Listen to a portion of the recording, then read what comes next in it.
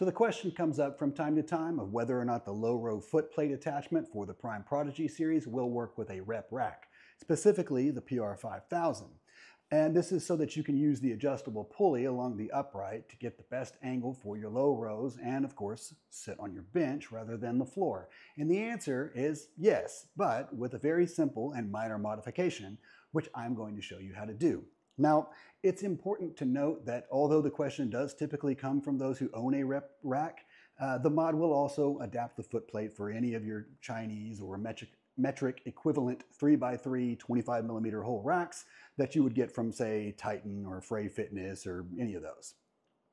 As you probably already know since you're here, but if not, I'll say it anyway, uh, the problem is that because Prime uses a true standard measurement or freedom units if you're a red-blooded American, the attachment pins are exactly four inches apart for use with their two inch hole spacing.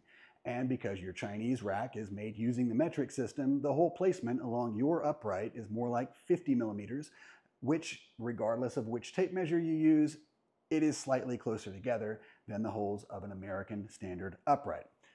After you've put on your safety glasses or whatever else you need to feel comfortable, there are three things that you are going to need before you start. The first thing you're going to need is the low row foot plate from Prime Fitness, which you can use code MWPIG5 at checkout to save 5% off of your purchase.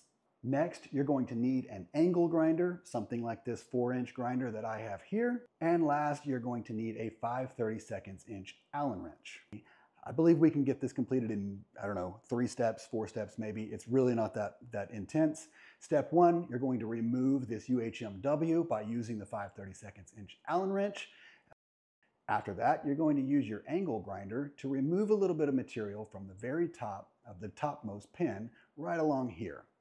I know it sounds scary, but I swear it's not. You just you really can't mess this thing up either. So don't be afraid to get in there. Just note that you're removing a little bit from this topmost ridge right down the center and a little bit left to right, kind of going back and forth.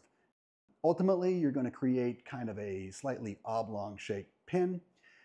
Then you're going to test fit it in your rack, repeat it as necessary, and if you really want a nicer looking finished product, I'd recommend finishing it off with a few really quick passes with a flap wheel or a higher grit sandpaper, something like that. Just make sure that you leave enough material uh, that you're not removing too much, right? And you can figure that out during the, the fitment process.